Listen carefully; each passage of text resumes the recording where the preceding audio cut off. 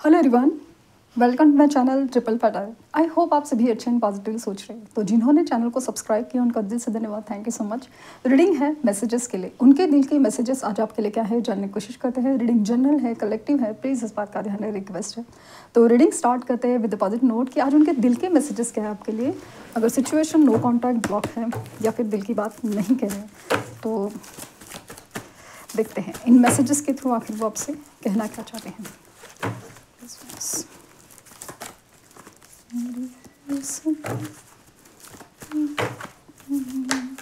Okay, twin flame is near.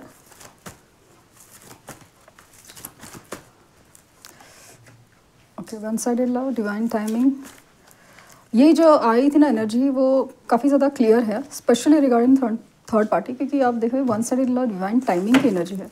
और ये किसी की वजह से नहीं हो रहा है बस ये होना था इसलिए हो रहा है।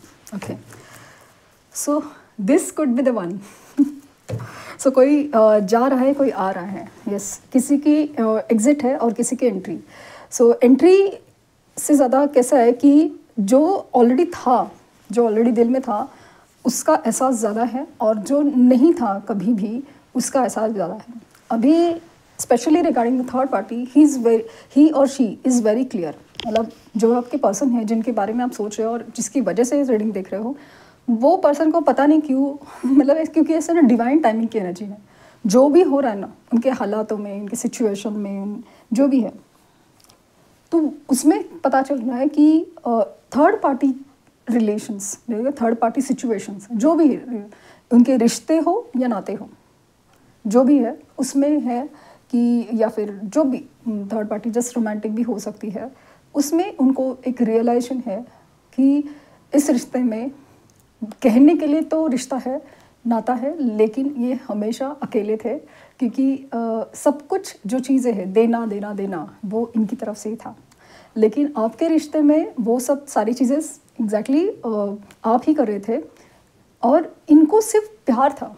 लेकिन ये रिश्ते में जो कंट्रीब्यूशन करना है एक सहना है कमिटमेंट देना है डिसीज़न लेना है साथ देना है ये सारी चीज़ें इन्होंने की नहीं थी। तो अभी डिवाइन टाइमिंग ही ऐसा हो रहा है कि कोई जा रहा है और जो दिल में सच में था वो उभर के आ रहा है।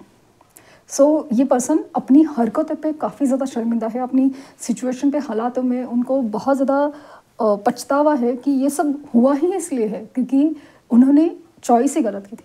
उन्हें किसी किसी को समझा ही नहीं। जो कार्मिक था उनको समझा नहीं और जो रियली सोलमेट था या ट्विन फ्लेम था उसे ही तकलीफ़ दी दर्द दिया उसका ही साथ नहीं दिया ये एनर्जी है। सो so, ये आपके करीब आ रहा है। स्पेशली आपके अगर कनेक्शन ट्विन फ्लेम है तो आपका कनेक्शन ट्विन फ्लेम है तो ये आपके करीब आ रहे हैं। और ये डिवाइन टाइमिंग की एनर्जी सिर्फ़ आपकी मैनिफेस्टेशन करने से या इनके हालातों की वजह से ऐसा नहीं है। जो भी हो रहा है जो भी हो रहा है ये यूनिवर्स की मर्ज़ी थी। यूनिवर्स की मर्ज़ी है थी नहीं। यूनिवर्स की मर्ज़ी है इसके लिए हो रहा है। और अभी इनको ना डिसीज़न लेने पे मजबूर किया जा रहा है।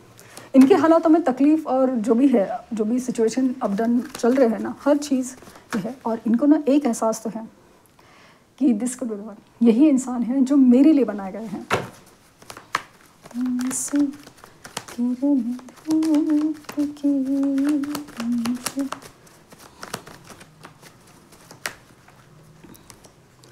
I am fed up with your complaining nature ये इन्होंने हमेशा कहा था ना कि आप कंप्लेन करते हैं, आप एक्सपेक्ट करें हर चीज़। अभी इनको ना बहुत ज़्यादा तकलीफ़ हो रही है कि ये सारी बातें, जैसे आप कुछ मांग रहे थे और वो कुछ सुन नहीं रहे थे या बोल रहे थे, वो सुन नहीं रहे थे और और सच में अगर आपका कंप्लेन नेचर है फ़िलहाल भी तो प्लीज़ स्टॉप क्योंकि इस वजह से वो ज़्यादा परेशान हो रहे हैं।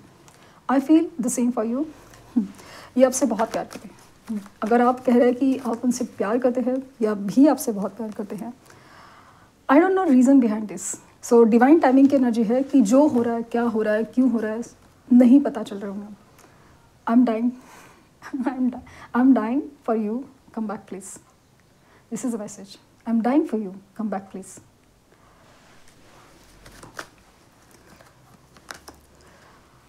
I wanted to teach you a lesson. इन्हें ऐसा लगा कि ये आपको लेसन सिखा रहे हैं बट ऐसा लग रहा है कि यूनिवर्स ही उनको लेसन सिखा रही है।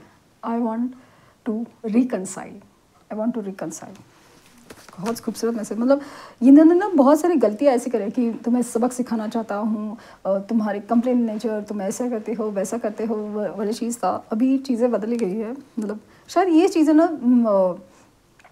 किसी और के साथ जब हो रही है ना, तभी पता चल रहा है कि आखिर तकलीफ़ किसमें है। It was really hard to let you go आपको खोना आसान नहीं था। I regret to hide the truth from you इन्होंने आपसे बहुत सारी चीज़ें छुपाई थी ना, सच नहीं कहा था। अभी सब सच उभर के आ रहे हैं। तो अभी बहुत पछतावा हो रहा है। यू डिज़र्व बेटर दैन इन्हें ऐसा लगता ना कि आपको, आप आप, इनसे अच्छा मिल सकता है, क्योंकि आप बहुत ज़्यादा लवेबल हो। आप बहुत अच्छे इंसान हो।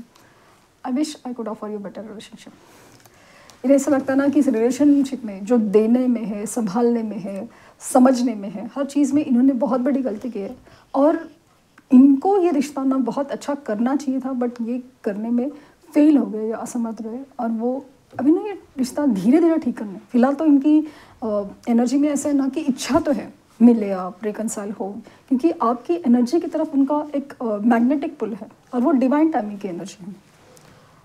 I feel you don't need me any more ये काफ़ी ज़्यादा ना अचानक से निगेटिव हो जाते हैं कि जिस तरह से ये रिकनसाइल करना तो चाहते हैं ये मिलना तो चाहते हैं ये आ, लेकिन जैसे आपने किसी और को चुन लिया है आपने नई शुरुआत की है आपको अभी इनकी ज़रूरत नहीं है ये सब निगेटिव थाट्स भी आते हैं निगेटिव थाट्स भी आते हैं।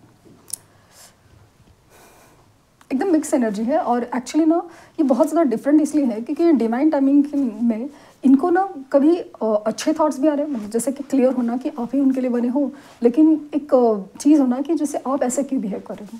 क्योंकि इन्हें नहीं पता कि इनकी वजह से आप में चेंजेस आए हैं तो वो चेंजेस का रीज़न भी ये है और इनको जो अपनी गलतियाँ कभी कभी नज़र आती है, कभी नहीं आती तो बिना वजह आपके ऊपर डाउट करे, शक करे और आपको ही गलत समझते हैं। लेकिन थोड़ी देर में फिर आप ही चाहिए वाली चीज़ में। तो ये थे मैसेजेस उनकी तरफ़ से। आई होप आपको कुछ गाइडेंस मिली हो। लाइक शेयर सब्सक्राइब करना ना भूलें। पर्सनल लिंक के लिए डिस्क्रिप्शन बॉक्स में है। प्लीज़ कोई फेक कमेंट का जवाब ना दें। Thank you universe thank you universe thank you universe